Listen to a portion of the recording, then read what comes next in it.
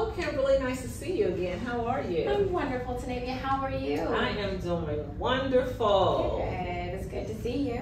Great. So, you just bought your house about three months ago. Tell me how it's going. I know you love it. Oh, I do love it. It's amazing. Everything inside the house is wonderful. Mm-hmm. So I'm very excited.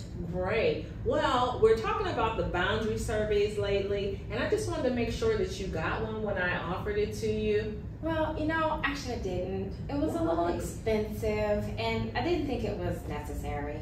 Well, I, it really is important when you're purchasing a new house because you need to know where your perimeter lies. You need to make sure your front yard is your front yard and your backyard is your backyard. You mm-hmm. know what I'm saying? I wish I had listened to you. Why? What happened? Oh my god, like somebody keeps putting signs in our front yard. Are you kidding me? No, I'm serious. Every week I come out, there's a sign out there. I put a fence around it. I take care of the yard. My husband keeps going out and taking the sign down.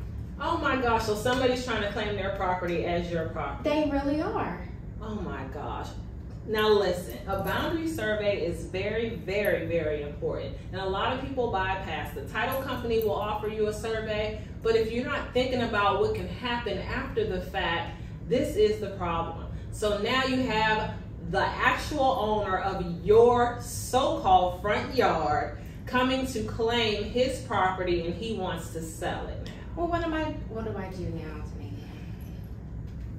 You can't do anything about it, Kimberly, because it's his property. Now, what you can do is purchase the property from him. Mm-hmm. If you can come up with an agreement, whatever he says, because you actually have the first right of refusal. Okay. Since it's in your space where you live at. So if you guys can come up with a offer and it's accepted and you can go ahead. If he refuses your offer, then it's open to the public. Anybody can come by and buy your yard and they can do whatever zoning, zone residential. They can build a house right in front of your house. They can do a flower bed.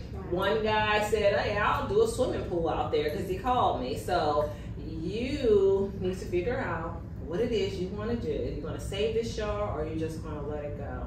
Because at this point, there's really not much you can do since it's not in your name. I wish I'd gotten that survey. Now, next time when you get ready to purchase a house, what are you going to do? Get a survey. Surveys are important. Well, I'm glad you're doing well. Thank you so much. And hopefully I'll sell you your next house too. Absolutely. Thank you. Have Thank a great you. day. You too. Mhm.